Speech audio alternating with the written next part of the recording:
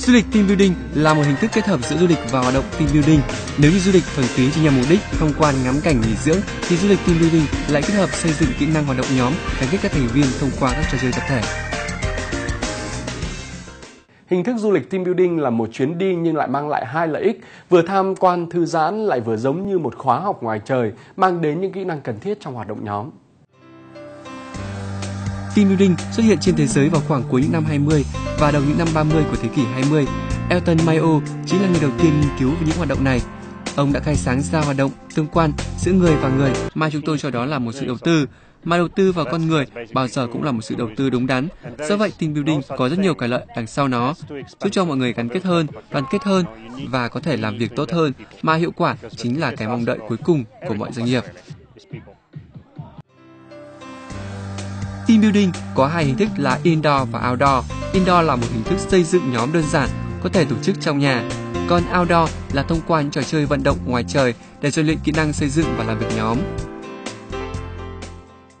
Anh tham gia nước ngoài không à? Đây là lần đầu tiên tham gia team building ở Việt Nam. Việt Nam thì mình có cái lợi điểm là mình có cái khung cảnh dã ngoài nó nó rộng rãi và nó có vẻ nó còn rất là thiên nhiên. Ở nước ngoài thì uh, nó ít ít Ờ, có nhưng mà mất công đi xa thì người ta lại team building trong những cái khung cảnh mà có điều hòa. Những trò chơi đầy thú vị cùng sự gắn bó mật thiết với nhau trong một không gian đẹp đã lý giải vì sao loại hình du lịch team building đang trở thành sự lựa chọn ưu tiên cho các cơ quan tổ chức hoặc các doanh nghiệp. Sau những khoảng thời gian vận động, họ lại có những phút giây thư giãn cùng nhau như thế này. Quả thật mới mẻ cho những chuyến du lịch. Hy vọng rằng loại hình du lịch kết hợp team building sẽ đem lại làn gió mới cho những chuyến du lịch dã ngoại tập thể và ngày càng phát triển mạnh mẽ hơn trong thời gian tới. Đồng hành trong chuyến du lịch cùng công ty VF Việt Nam mới thấy được du lịch kết hợp team building có thật nhiều điều thú vị phải không các bạn? Ngay sau đây thì chúng tôi sẽ đưa các bạn đến với một không gian đặc biệt, một lớp học đặc biệt của những con người đặc biệt trong tiểu mục Nhịp sống muôn màu. Trong cuộc sống thì mỗi người lại có một niềm đam mê riêng. Với nghệ sĩ Đào Kế Đoàn thì kịch câm lại là niềm đam mê bất tận của anh. Trong thời điểm hiện nay, kịch câm đang là một loại hình nghệ thuật khá trầm lắng ở Việt Nam, nhưng không vì thế mà làm giảm đi niềm đam mê của nghệ sĩ kịch câm Đào Kế Đoàn. Sau những giờ làm việc tại nhà hát tuổi trẻ, anh lại trở về với một lớp học đang ấp ủ giấc mơ lớn lao của mình.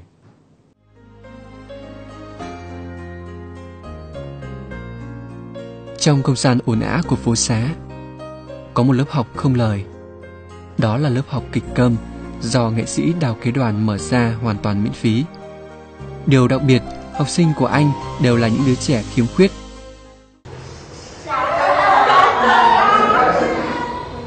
Bây giờ chúng ta sẽ tập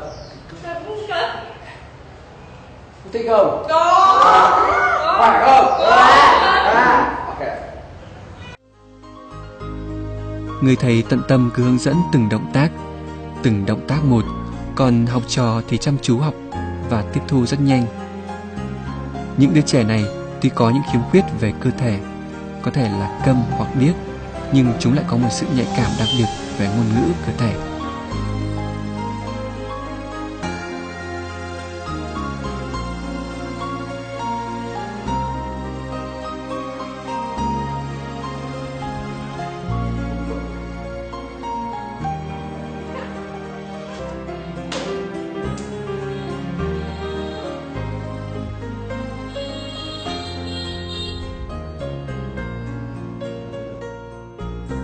Chính vì thế, bằng sự chăm chỉ và niềm khát vọng mãnh liệt của mình, không có lý do gì có thể ngăn cản những ước mơ của những đứa trẻ này.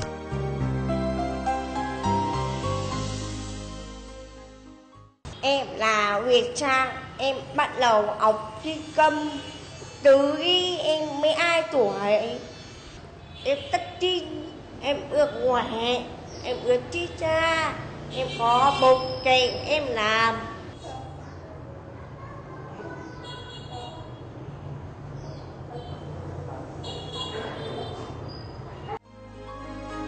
Kịch câm được biết đến như một loại hình nghệ thuật không lời kỳ diệu, chỉ bằng những động tác hình thể mềm mại, nét mặt sinh động, người nghệ sĩ trên sân khấu có thể tạo nên một thế giới vô hình, một loại hình nghệ thuật đã từng đi sâu vào ngóc ngách tâm hồn người dân Việt Nam một thời.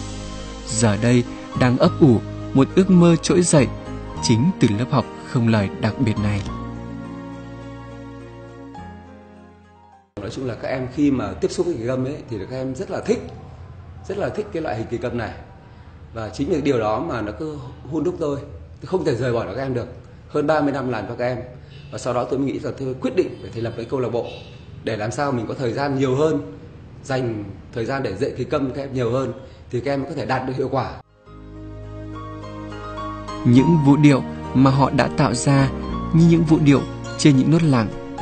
Họ vẫn lặng lẽ từng ngày để đến gần hơn với ước mơ. Đó chính là khoảng lặng trong tâm hồn họ. Hy vọng rằng sẽ có một ngày những ước mơ cháy bỏng hôm nay sẽ bùng lên, tỏa sáng mãnh liệt.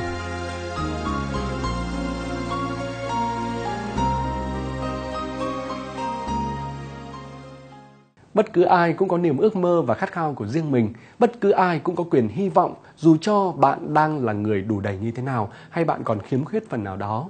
Điều quan trọng là bạn dám ước mơ và dám thực hiện. Đó chính là thông điệp mà chúng tôi muốn gửi gắm tới quý vị trong chương trình ngày hôm nay. Thời lượng của chương trình Nhịp sống mới tuần này cũng đã hết rồi. Cảm ơn quý vị đã quan tâm theo dõi chương trình và xin kính chào tạm biệt.